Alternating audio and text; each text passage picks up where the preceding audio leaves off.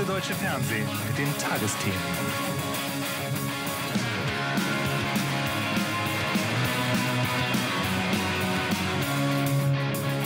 Heute im Studio Ingo Samperoni. Und diesmal auch die Ärzte. Wow, so sind die Tagesthemen wohl noch nie eröffnet worden.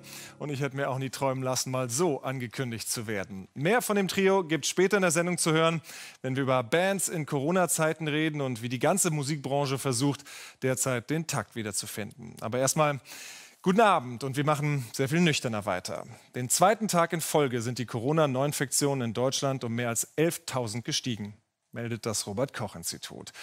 Und während derzeit vor allem versucht wird, den Anstieg der Infektionen zu verlangsamen, laufen gleichzeitig die logistischen Vorbereitungen für eine künftige Impfkampagne an. Weltweit forschen um die 200 Firmen intensiv an einem Impfstoff. Eine solche Waffe gegen das Virus sei aber frühestens zu Beginn des nächsten Jahres verfügbar, erklärte heute das Bundesgesundheitsministerium. Doch wer soll die Impfung als erstes bekommen? Tim Diekmann berichtet.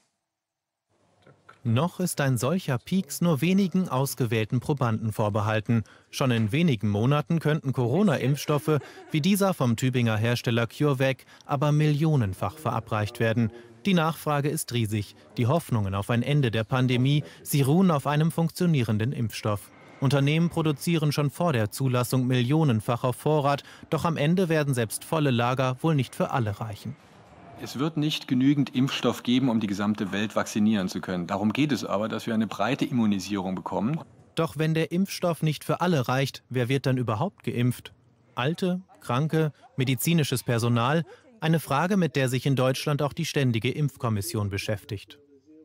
Letztendlich ist das ganze Verfahren unbedingt so zu gestalten, dass eine hohe Transparenz dabei ist und dass letztendlich die Menschen das Gefühl haben, dass es gerecht zugeht auch. Die Diskussion, wer zuerst den vielleicht lebensrettenden Impfstoff bekommt, ist längst entbrannt. Gesundheitsminister Spahn sieht im aktuellen Spiegel Pflegekräfte und Ärzte ganz oben auf der Liste. Aber nicht einmal für die könnte der Impfstoff wohl reichen. Eine Priorisierung bedeutet ja auch, dass die Gruppen relativ klein sein müssen, weil wenn man nicht genug Impfstoff hat, hat es naturgemäß keinen Zweck, sehr große Gruppen zu priorisieren, für die dann kein Impfstoff verfügbar ist. In der kommenden Woche wird eine Expertenkommission der Politik Empfehlungen geben. Auch Bund und Länder tauschen sich bereits über eine Impfstrategie aus. Einen detaillierten Plan gibt es aber nicht. Jedenfalls ist es so, dass wir uns vorbereitet haben durch Kabinettsbeschluss, äh, dass äh, wenn der Impfstoff da ist, dass er auch angewendet werden können. Wir also jetzt zumal was Spritzen und so weiter betrifft, da Vorsorge getroffen haben. Dennoch ist vieles unklar. Lediglich auf die Frage nach dem Wo gibt es eine Antwort. Das wird nach derzeitiger Vorstellung sicher in Impfzentren sein, weil auch sonst die äh, Umsetzung einer Priorisierung sehr schwer, schwer denkbar wäre. Außerdem wissen wir, dass manche Impfstoffe eben sehr kritisch sind, was Lagerung und Transport angeht. In Messehallen könnten solche Impfzentren entstehen. Noch gibt es sie aber nicht. Stattdessen viele einzelne Ideen und noch keine gemeinsame Impfstrategie. Es sollte Gleichberechtigung und mehr Chancen für Frauen im Brandenburgischen Landtag bringen, das Paritätsgesetz wonach Parteien beim Aufstellen der Kandidatenliste für Wahlen diese abwechselnd mit Frauen und Männern besetzen müssen. Ein Blick in die Landesparlamente zeigt, dass weibliche Abgeordnete lediglich in Hamburg mit 43,9 Prozent einigermaßen gleichrangig vertreten sind. In Sachsen-Anhalt beträgt der Anteil lediglich 21,8 Prozent, in Brandenburg 31,8 Prozent.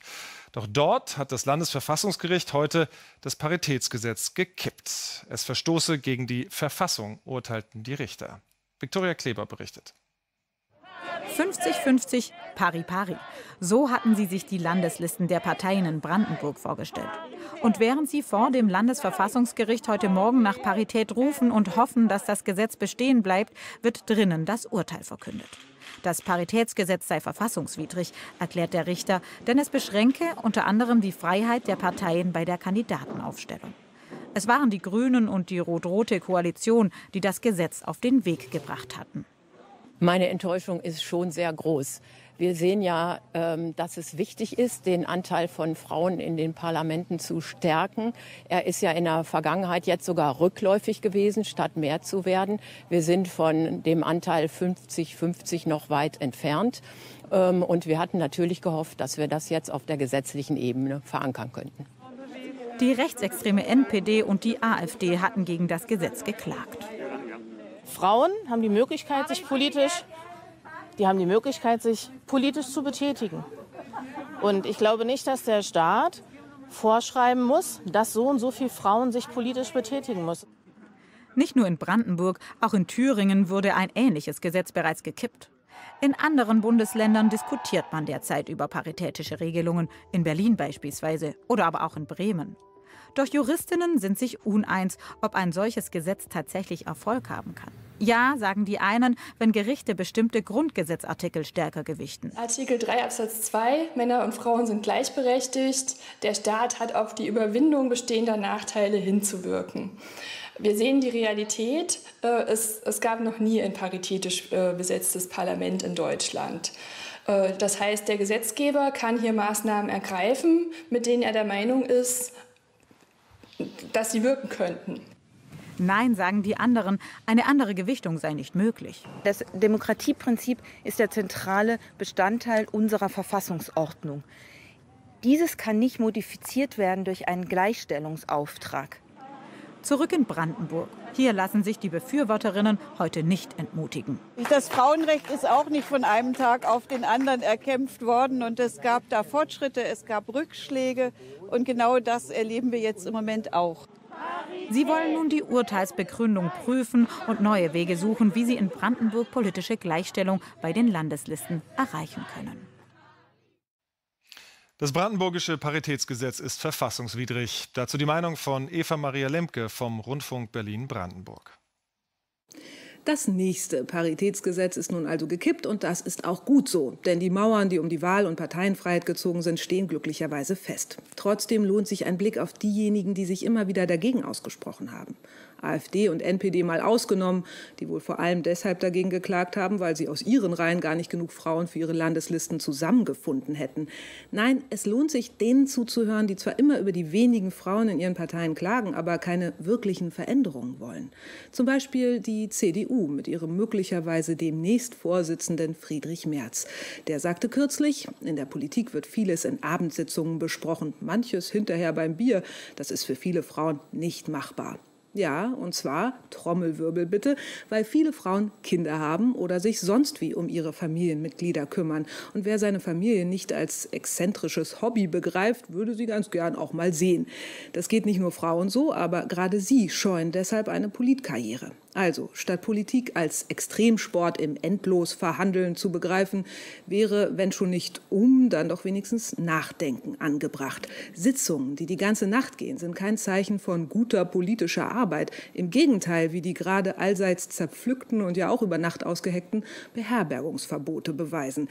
Und wer will, dass Politik lebensnah ist, sollte nicht nur auf Geschlechterproports in den Parlamenten achten, sondern auch darauf, dass die Menschen, die sie machen, dieses Leben nicht irgendwann mit der Halbwelt der Verhandlungsrunden verwechseln oder auch vielleicht schon mal einen Pflegeantrag für ihre Angehörigen ausgefüllt haben. Noch aber gilt, die Verhältnisse, die sind nicht so. Und daran hätte auch ein Paritätsgesetz wenig geändert. Die Meinung von Eva Maria Lemke. Die Erwartungen waren nach dem Debakel der zerstrittenen ersten Runde so gering, dass das zweite und letzte TV-Duell zwischen US-Präsident Donald Trump und seinem Herausforderer Joe Biden nicht viel brauchte, um besser dazustehen. Immerhin, das Publikum konnte endlich mal Argumente hören, was zum einen damit zu tun hatte, dass die Mikros stumm geschaltet werden konnten und zum anderen, dass der Präsident sich diesmal besser im Griff hatte. Trump musste auch punkten. In Umfragen liegt er nach wie vor hinter Biden. Ob es gereicht hat, Wählerinnen und Wähler zu überzeugen, das fasst Verena Bünden zusammen. Es ist die Chance, Millionen Amerikaner ein letztes Mal vor ihren Bildschirmen zu erreichen. Die ganz große Bühne für Trump und Biden vor der Fernsehnation. Dank neuer Regeln gerät die zweite TV-Debatte tatsächlich zu einem vergleichsweise zivilisierten Kampf der Ideen. Trump zeigt sich diszipliniert, ohne ständige Zwischenrufe, Biden gelassen und konzentriert. Besonders deutlich werden die Unterschiede der Kandidaten beim Reizthema Corona und ihrem Umgang mit stark steigenden Infektionszahlen. Wir können dieses Land nicht geschlossen halten. Das ist ein gewaltig großes Land mit einer massiven Wirtschaft. Leute verlieren ihre Jobs, sie begehen Selbstmord, es gibt Depressionen, Alkohol, Drogen wie noch nie zuvor gesehen. Das Heilmittel darf nicht schlimmer wirken als das Problem. Er sagt, wir sollen lernen, mit dem Virus zu leben. Die Menschen lernen damit zu sterben. Ihr Leute da draußen, wo ein Stuhl am Küchentisch leer bleibt. Diejenigen, die abends im Bett die Hand nach dem Partner ausstrecken. Und da ist niemand mehr. Lernen damit zu leben? Um die letzten Unentschlossenen zu überzeugen, setzen beide auf bewährte Methoden. Biden wendet sich direkt an die Zuschauer. Trump inszeniert sich wie gewohnt als politischer Außenseiter. Beim Thema Rassismus wird um die schwarzen Wähler gerungen. Er ist einer der rassistischsten Präsidenten, die wir in der modernen Geschichte hatten. Er gießt Öl in jedes einzelne rassistische Feuer. Ich bin die am wenigsten rassistische Person hier. Ich weiß gar nicht, wer im Raum sitzt, weil es da so dunkel ist, aber ich bin die am wenigsten rassistische Person in diesem Raum. Neu nach dem Chaos der ersten Debatte, die Moderatorin verfügt über einen Stummschaltknopf mit abschreckender Wirkung. Die Kandidaten reagieren mit Mimik statt Zwischenrufen. Die politische Grimasse als Statement. Dennoch schenken sich die beiden nichts. Seine Familie ist wie ein Staubsauger, sie saugen das Geld auf. Sie haben keine einzige Steuererklärung herausgegeben. Was verbergen sie? Jeder sieht sich anschließend als Sieger, wird wenig überraschend von den Seinen unterstützt. Hoffnung und Optimismus habe der Präsident verbreitet, twittert das Team Trump. Trump sei für den desolaten Zustand Amerikas verantwortlich, resümiert Team Biden. Blitzumfragen unter den Zuschauern sehen Biden als klaren Gewinner der Debatte, wenn auch mit geringerem Vorsprung als nach dem ersten TV-Duell. Unser ARD-Studioleiter Stefan Niemann in Washington. Welchen Einfluss dürfte dieses letzte TV-Duell vor der Wahl haben auf die Entscheidung der Amerikanerinnen und Amerikaner? Ja, aus meiner Sicht allenfalls einen geringen. Ich rechne nicht mit einer erdrutschartigen Verschiebung der Wählergunst. Dafür ist dann doch nicht genug passiert.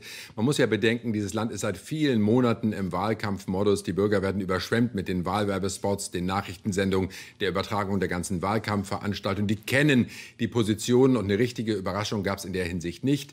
Und was Donald Trump versucht hat, dieser Imagewandel war selbst nach Meinung mancher, mancher Strategen der Republikaner too little, too late, also nicht äh, genug genug und zu spät hat er versucht zu zeigen, dass er auch sich zusammenreißen kann, zuhören kann und Respekt zeigen kann. Ich glaube nicht, dass das viele Wähler noch zum Umdenken bewegt, zumal ja sich viele vor langer Zeit schon entschieden haben und 50 Millionen US-Bürger haben sogar bereits gewählt, etwa 35 Millionen per Briefwahl und 15 äh, Millionen trotz der Pandemie direkt im Wahllokal.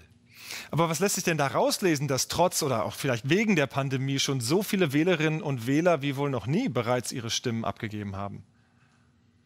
Ja, zweierlei. Zum einen eine doch spürbare Mobilisierung der Wähler. Die Demokraten haben ja früh versucht, ein Referendum über Trump aus dieser Wahlentscheidung zu machen. Und auch Trump selbst äh, hat dieselbe Strategie verfolgt. Auch er möchte, dass das Volk über ihn abstimmt, ob er weitermachen darf oder eben nicht. Das hat also viele Wähler mobilisiert offensichtlich.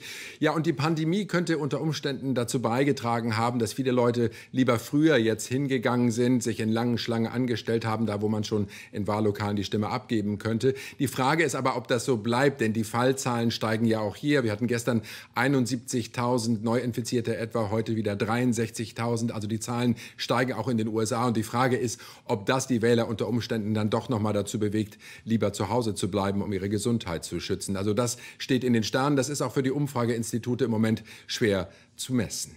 Und deswegen bleibt es spannend. Vielen Dank, Stefan, für die Einschätzungen nach Washington. Bundesinnenminister Seehofer will nach dem tödlichen Angriff auf Touristen in Dresden prüfen lassen, ob künftig wieder Abschiebungen nach Syrien möglich sein sollen. Die Nachrichten mit Thorsten Schröder. Das Innenministerium erklärte, es solle die Möglichkeit zur Rückführung von Straftätern, Gefährdern und Identitätstäuschern angestrebt werden, wenn die Sicherheitslage in Syrien dies zulässt. In der Innenministerkonferenz, dem Gremium, das über die Modalitäten entscheidet, ist nun ein Streit über das Vorhaben Seehofers entbrannt. Derzeit gilt bis zum Jahresende ein Abschiebestopp nach Syrien. Die Europäische Grenzschutzagentur Frontex ist in der Ägäis in illegale Zurückweisungen von Migranten verwickelt. Das haben Recherchen von Report Mainz, Spiegel, Lighthouse Reports und Bellingcat ergeben. Dieses Video soll belegen, wie ein rumänisches Schiff der Agentur Frontex ein überfülltes Schlauchboot blockiert, die Menschen aber nicht aus der Seenot rettet. Später fährt das Frontex-Schiff mit hohem Tempo an den Migranten vorbei. Dann übernimmt die griechische Küstenwache das Abdrängen des Schlauchboots Richtung Türkei. Unter Vermittlung der Vereinten Nationen haben sich die Bürgerkriegsparteien in Libyen auf einen Waffenstillstand verständigt. Vertreter des Ministerpräsidenten al-Sarraj und des General Haftars unterschrieben in Genf eine entsprechende Vereinbarung. Sie gilt ab sofort landesweit und ohne zeitliche Begrenzung. Ausländische Kämpfer müssen das Land verlassen. Die UN-Beauftragte Williams sagte, die Unterzeichnung des Abkommens werde in die Geschichte eingehen. Im November soll es weitere Gespräche über die Zukunft des Landes geben. In Polen haben auch heute wieder hunderte Menschen gegen das vom Verfassungsgericht verabschiedete neue Abtreibungsgesetz protestiert. So ist künftig ein Schwangerschaftsabbruch selbst bei einer schweren Schädigung des Fötus verboten. Erlaubt bleibt er nur nach einer Vergewaltigung oder bei Gefahr für Leib und Leben der Schwangeren. Bei den gestrigen Demonstrationen wurden mindestens 15 Personen festgenommen. Die Tarifverhandlungen für den öffentlichen Dienst haben auch heute kein Ergebnis gebracht. Vertreter von Gewerkschaften und Arbeitgebern wollen die Gespräche morgen in Potsdam fortsetzen. Die Arbeitgeber bieten 3,5 Prozent mehr Lohn bei einer Laufzeit von drei Jahren. Die Gewerkschaften fordern 4,8 Prozent für ein Jahr, mindestens aber 150 Euro mehr im Monat. Es trifft Weltstars wie Amateurbands, Konzertveranstalter wie Tourcrews und natürlich auch das Publikum. Licht aus und kein Spot an, die Bühnen sind leer. Einer ganzen Branche hat Corona den Stecker gezogen. Bevor ich gleich darüber mit der Punkrock-Band Die Ärzte rede, die ja so sensationell die Sendung eröffnet hat, zeigt André Kartschall, wie begrenzt die Klaviatur ist, auf der Künstler und Live-Veranstalter gerade spielen können. Die Ärzte haben ein neues Album und keiner geht hin, weil ja in Corona-Zeiten niemand zum Konzert gehen darf. Für alles ist gesorgt. Für eine Band, die sich mehr als manch andere über ihre Live-Auftritte definiert, ist das eine völlig neue Erfahrung. Wir sind äh, nicht die Art Künstler, die sagen, wir geben der Welt jetzt unser, unser Werk und äh, da lassen wir es los und dann äh, genießen wir von der Ferne die Wirkung, sondern wir wollen das nicht von der Ferne, wir wollen es vom Nahen und zwar in Front, in Front eines äh, Live-Publikums erleben. Statt noch in diesem Jahr wollen die Ärzte nun erst 2021 auf Tour gehen. Und hoffen, dass die Leute sich vorstellen, wie das denn ist, in einem Jahr dazu zu pogen. Und sie haben dann auch Zeit, textsicher zu werden. Zeit, die wir haben, um die Texte schon wieder zu vergessen. Weil so gleicht sich das dann einigermaßen aus. Die Konzertverbote haben eine ganze Branche de facto arbeitslos gemacht. Musiker, Techniker, Clubbesitzer, DJs, Friedrich Koschmann ist einer, der dennoch auflegt, wenn auch nur im ganz kleinen Rahmen. Nachmittags in Berliner Clubs mit begrenzter Teilnehmerzahl und mit Masken- und Abstandspflicht man probiert halt Nischen zu finden. Also man probiert halt in schwierigen Zeiten trotzdem nicht aufzugeben. Man, äh, es, also wo sich Türen schließen, sagt man ja immer, öffnen sich auch wieder neue. Dennoch, die Politik müsste deutlich mehr helfen, fordern Betroffene. Branchenvertreter wie Marek Lieberberg kritisieren, es passiere allerdings so gut wie gar nichts. Seit mehr als sieben Monaten ist diese Branche ohne jede Einnahme und ohne substanzielle Hilfe. Äh, denn die Maßnahmen der Bundesregierung greifen nicht wirklich und bleiben zum größten Teil in einem bürokratischen Sumpf stecken. Die Kerzen sind längst aus, ich und mein Handy. Die Ärzte haben die Einnahmen aus Live-Auftritten nicht so nötig wie andere Künstler, das sagen sie selbst. Nicht nur das Vinyl, ich habe hier alles, was ich vom Leben will. Es gibt so viele Bands, die äh, die Live-Auftritte komplett brauchen. Also wir kommen aus einer Zeit, wo noch äh, Abermillionen von Schallplatten und Tonträgern verkauft wurden. Die Bands heute müssen sich von kleinen Streams ernähren und von Live-Gigs, von Konzerten, von Shows. Und wenn das wegbricht, äh, dann ist, sind überhaupt keine Einnahmen da. Live gibt es die Ärzte wie viele Bands wohl frühestens 2021 wieder. Es sei denn, sie geben vorher ein Autokonzert wie manche Schlagersänger.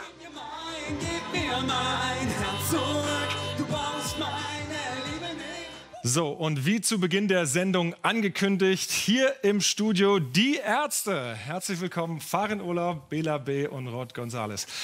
Herzlichen Dank für dieses Intro. Das war nun wirklich mal eine Tagesthemenpremiere. Ja, wunderbar.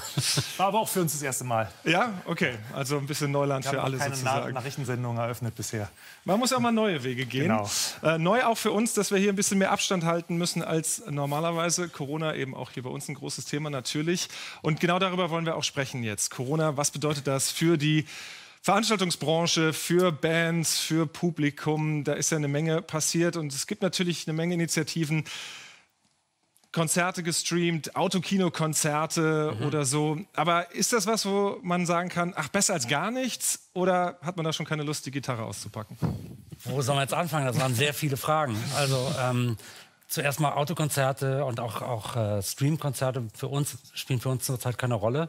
Das passt nicht zu uns. Äh, unser Publikum muss sich aneinander reiben, einander riechen. Und so uns riechen? So, auch uns riechen müssen. Nee, das ist äh, etwas, was äh, natürlich nur so ein behelfsmäßiger Job ist. Die einzigen, die da wirklich was von haben, sind auch nicht die Bands, sondern tatsächlich die Roadies, die da Jobs bekommen haben, Lichtleute, äh, Tonleute, die Crew. Ähm, wir selber sind da dicht dran. Unsere Crew ist uns sehr nah und wir mussten unsere Tour jetzt um ein Jahr verschieben. Ähm, und wir wissen, dass die das ganze Jahr über keine Jobs hatten und äh, wirklich Existenzängste haben inzwischen. Die sind seit sieben Monaten fast praktisch ohne Arbeit. Äh, heute konnten wir wieder jemanden hier beschäftigen im Studio. Ja. Das ist echt, das ist echt krass. Und wir unterstützen die Alarmstufe Rot äh, Organisatoren und die, die Demo, äh, die Demos, die äh, für die Veranstaltungsbranche stattfinden und hoffen, dass wir die Politiker dazu kriegen, diese Riesenbranche, die 1,4 Millionen Menschen beinhaltet, äh, auch mal äh, zu sehen und die zu unterstützen. Mhm. Der Konzertveranstalter Marek Lieberberg sagt, die Politik unterstützt viel zu wenig und hat massive Vorwürfe. Mhm. Das seht ihr also auch so?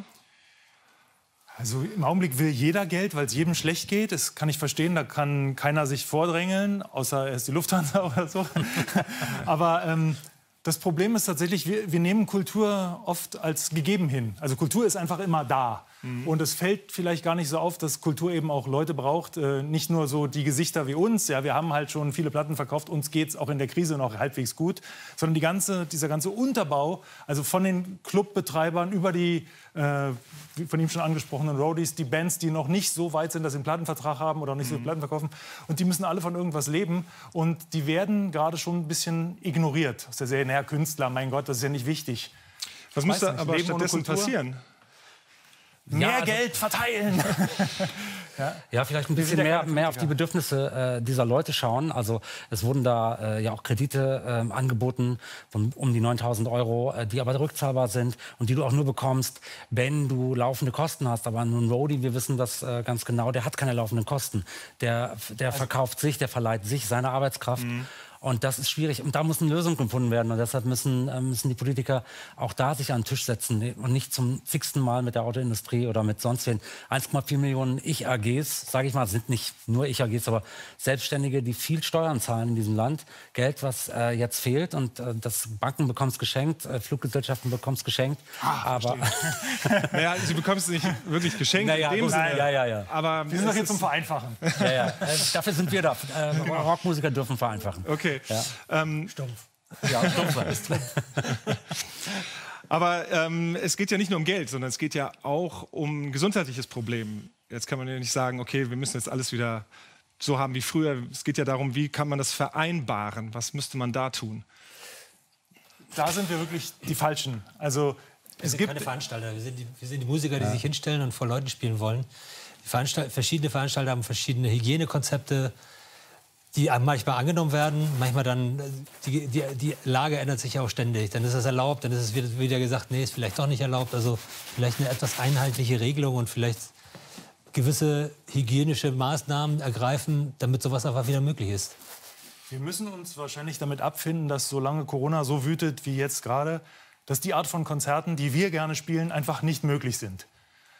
Solange das irgendwann vorbei ist, und das hoffen wir, ist das so, so das, das Ja, Licht da am Horizont quasi. ja. Aber ähm, was heißt das denn für Sie als Band? Also wenn man eben nicht mehr das riechen kann und schmecken kann, wie das ist. Es ist zum Beispiel so, wir haben jetzt ein Album, was äh, heute erscheint und das, die Lieder wollen live gespielt werden. Wir wollen die Lieder live spielen, das kann man nicht. Und das ist irgendwie, das, das verpufft dann so ein bisschen. Hm. Weil ein Lied, was man nur auf der Konserve hört, ist auch schön, aber ist halt nicht so, wie man es spürt und dazu rumspringen kann mit anderen. Äh, das haben, ist traurig. äh, Wir haben eine sehr ausschweifende Fantasie und überlegen gerade immer wieder, ob es irgendwelche Möglichkeiten gibt, wenigstens hin und wieder äh, für uns da irgendwas einen Weg zu finden, dass wir wenigstens ein bisschen spielen können, bis dann zu unserer großen Tour im Winter, die hoffentlich möglich sein wird. Äh, da gibt es ja optimistische äh, äh, Zeichen, dass es dann nächstes Jahr im Frühling oder so irgendwann den Impfstoff gibt. Das ist ja vielleicht auch eine Chance. Es gibt diesen Spruch im Englischen, never waste a crisis. Ne? Nicht Mhm. nur das Schlechte sehen, sondern vielleicht auch eine neue Möglichkeit daraus ziehen. Wir Welche sind tatsächlich kreativen... eine Band, die aus ihren Fehlern immer versucht, das, was Positives zu machen. Auch auf der Bühne. Jeder Verspieler wird äh, für Entertainment genutzt.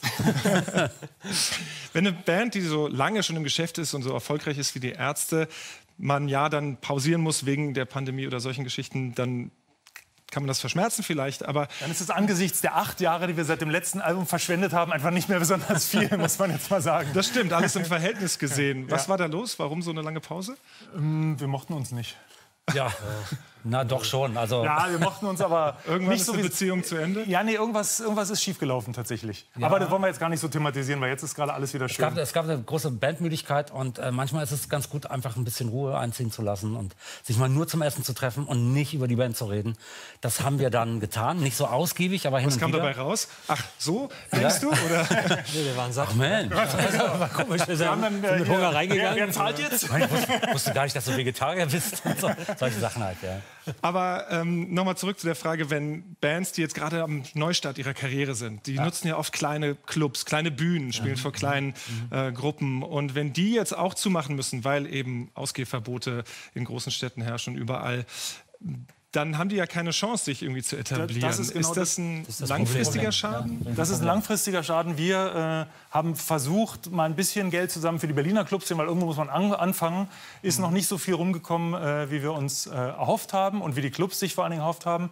Aber irgendwo muss man anfangen. Und äh, Rott hat das mal ganz schön gesagt. Er hofft, dass die Jugendzentren auf dem Land vielleicht wieder zu Leben erweckt werden, wenn es in der Stadt einfach keine Clubs mehr gibt, weil überall Zalando drin sitzt oder so. In jedem, in jedem leeren Schuppen. Wer? Keine Ahnung. Ja, irgend so ein Internethaus halt. Irgendeine Art und Weise, wie diese Corona-Krise auch in Kreativität in Songs, in neuen Liedern verarbeitet wird? Wir haben sehr konzentriert arbeiten können im Studio. Es gab keine. Es gab äh, keine Ablenkung, keine Freunde, die man treffen wollte, keine Filme, die unbedingt gesehen werden wollten. Es war wirklich so, Ja. was machen wir heute? Naja, Rausgehen? weiter. Nee, lass mal. Genau. Wollen wir essen gehen? Das war Nee, tatsächlich, nicht. also man, wir versuchen irgendwas Gutes dran zu finden und das war schon gut daran. Also es, sind, es ist mehr Zeit mit Aufnehmen verbracht worden in der Zeit, die wir im Studio waren. Aber mehr Gutes fällt mir jetzt auch wirklich nicht ein. Jetzt jeden Lied zum Corona-Blues verkommen zu lassen, wäre auch nicht so richtig unsere Art. So. Übrigens, es ist immer noch total hart. Nee. Gut, dann drücken wir die Daumen, dass es möglichst bald wieder Live-Konzerte gibt, Mhm. auch mit den Ärzten. Vielen herzlichen Dank für den Besuch im Studio und für das sensationelle Opening. Vielen Dank. Nachrichten. Bitte schön.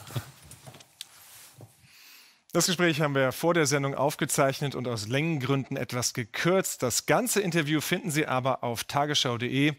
Und dort sagen die Ärzte dann auch, ob sie dafür Verständnis haben, dass so manche Jugendliche in Corona-Zeiten auf Partys nicht verzichten wollen.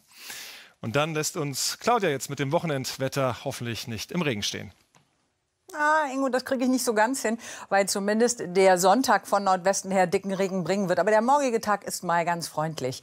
Heute ja für die meisten viele dichte Wolken, immer wieder Regen. Es gab aber Regionen, da schien noch richtig schön die Sonne. Prem am Lech heute. Da gab es Sonnenschein blauen Himmel und man sieht hier so ein paar Schleierwolken, die unterwegs waren. Im Laufe des Tages aber zogen auch da kompakte Wolken auf mit Regen und äh, dementsprechend war es dann eher trüb und auch war trotz, der, trotz des Regens noch ziemlich warm. Denn ein Tiefdruckgebiet, das sorgte bei uns schon für die Zufuhr warmer Luft. Und auch in den nächsten Tagen, also morgen, übermorgen, bleibt es recht warm.